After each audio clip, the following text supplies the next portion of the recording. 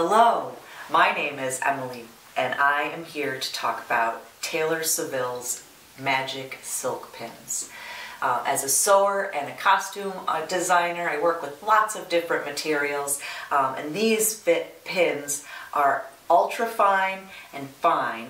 Um, so they work really well with silk, satins, and other sort of, uh, any sort of material that you don't want to get snags. Um, here I'm altering a uh, dress that I've used these pins for and they go in really smooth. They're very easy to manipulate.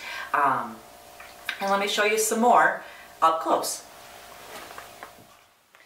Taylor Seville's Magic Silk Pins come in two different thicknesses, fine and extra fine. Fine is 0.5 millimeters, extra fine is 0.4. Both of them are about over an inch in length. They're both really sharp, uh, but the length really helps you uh, to get into the places you need to without the pin bending too much. It has a bit of flex without too much bend and it's very sharp so it's really great for your silks any other fine fabrics that you don't want to get um, little holes in or uh, snag.